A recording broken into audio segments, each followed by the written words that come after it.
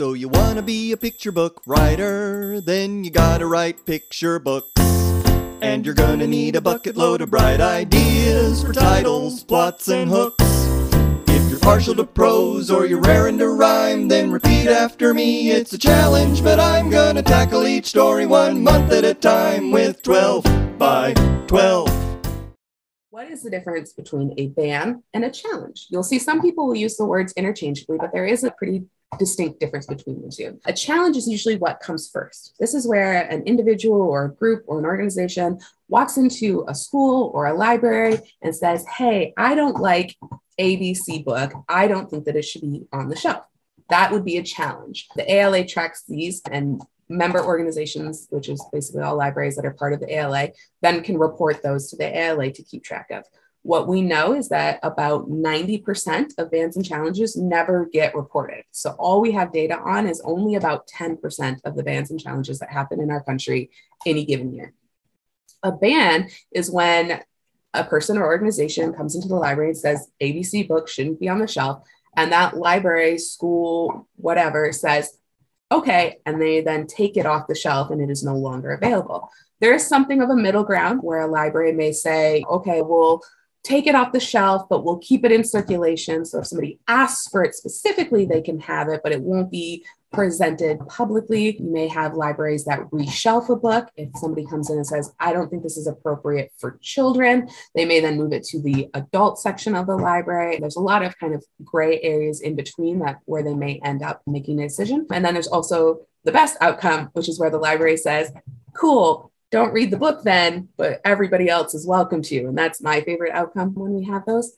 When we're looking at the numbers, when we look at 2019, which is the last kind of normal year of data that we have, there was 377 challenges of 566 books across the country throughout the year of 2019.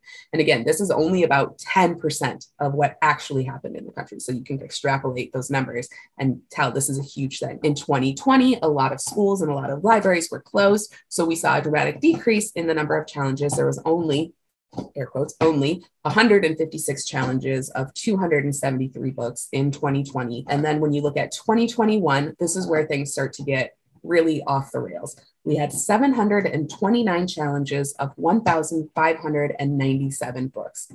That is a huge increase. It's more than double from our last like normal year of 2019 and again this is at best 10% of what was actually happening on the ground in 2021. You can see here in this graphic that the most common initiator of a challenge is a kind of parents or patrons of the library. You will occasionally see them coming from inside the house, which is especially terrifying in my opinion. We recently had a situation like this here in Michigan where a trustee of the board was proposing a new materials handling policy that basically said no books that had anything LGBTQIA plus, nothing political, nothing harmful would be allowed for the kids area. And those are those ones are especially terrifying to me as somebody who is a trustee of a library. And occasionally they do come from librarians and teachers, which again is also very terrifying. Elected officials are the ones who get a lot of attention, but they are one of the smaller ones. And then a very tiny number of students will initiate a ban or a challenge. What are the common reasons language that people use for challenges? Often, if you look at the top 10 lists by year, you will see a trend of what was happening in the wider world when these books were being banned or challenged.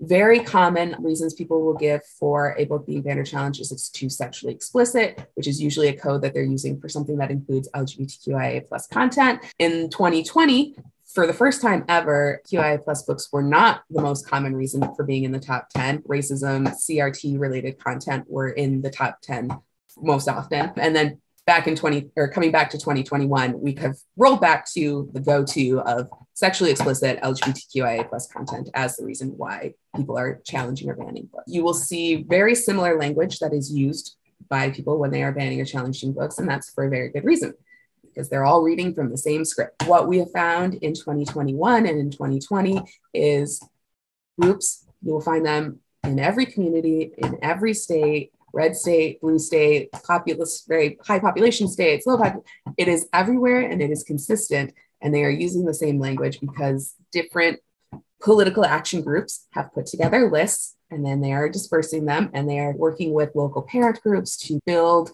outrage when it comes to things like banned books. which is why they're all using the same books. If you go to like school board meetings or library board meetings, they're all reading from the same passages, they're all saying the same things. It's because they're all following the same script. They're very well organized. It's really frustrating. One thing that we have found personally in our school district that has really helped is having a solid policy and plan for what to do if somebody bans or challenges book. A lot of schools are getting caught off center because of budget cuts.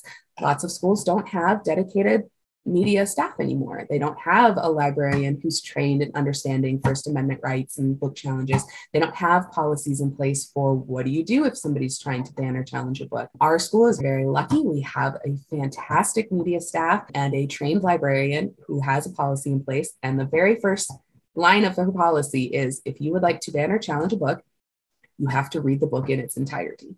And then you have to write basically a book report of exactly what it is that you are objecting to and why this book should not be allowed for people to read. Because of her policy, I honestly believe we had zero challenges in my community. Now, that's not to say that they haven't been showing up to our school board meetings and having dramatic readings. They have definitely been doing that, but they have never actually challenged a book in our school library. And that's such an important thing and i'll talk about this more later when we're talking about what can we do to fight this but huge importance is making sure that your school your public library, that they have a policy in place and that they understand what they're going to do when they face this challenge if they haven't already. So I've talked about this a little. Where do challenges happen? Obviously, the most common place that we see them is in school libraries, at school board meetings. These are some of our biggest ones that we've seen in the news lately. When you think about Tennessee School Board deciding that Maus was inappropriate and they were banning it from the curriculum. When you look at challenges in places like Florida and in Texas, these are very often happening in schools, at school board meetings, at school libraries. The next most common place is public library. We deal with this at the public library that I am a board member of. Every public library probably has dealt with this recently. And then schools and other academics, colleges, things like that also deal with challenges. So, what can you do? This is really the meat and most important thing that I'm going to talk about. There's so much as individuals, as authors, if you're a parent, if you're a community member, we all can be doing something about bans and challenges. And the first one is showing up. First of all, showing up to this and learning more about it is huge. Getting the language and the knowledge to be able to talk about this with other people, so very important. But showing up to school board meetings, showing up to county commissioner meetings, to city council meetings, to library meetings, these are places where these bans or challenges are happening on the ground every day. And a lot of the times they're happening because nobody's paying attention. I am one of those people who goes to my city council meeting and obviously I go to my library meeting since I'm on the board. I go to our school board meetings and until something as dramatic is happening, nobody's there. And usually by the time the dramatic thing is happening, it's too late. So please, if you have the ability, show up to your meetings, be aware of what's happening, speak up in defense of books. I speak very regularly, and I will say this if you're nervous about public speaking, having spent the last year and a half going to two school board meetings a month, the word salads I have heard people say into the microphone, you will be great. No matter what you say, if you are speaking from the heart and speaking genuinely, you will sound like the most intelligent person ever. So do not be afraid to make use of your voice. Speak up about books. Be very real about what books mean to you. For me personally, I'm very passionate about the fact that books save lives. I grew up as a kid in the 90s who had no idea what bisexual was. I thought that I was just a freak because I knew that I was attracted to the boys in my class, but I was also attracted to the girls in my class. And I was like, I know what gay is, I know what straight is. What's wrong with me? Why am I not like that?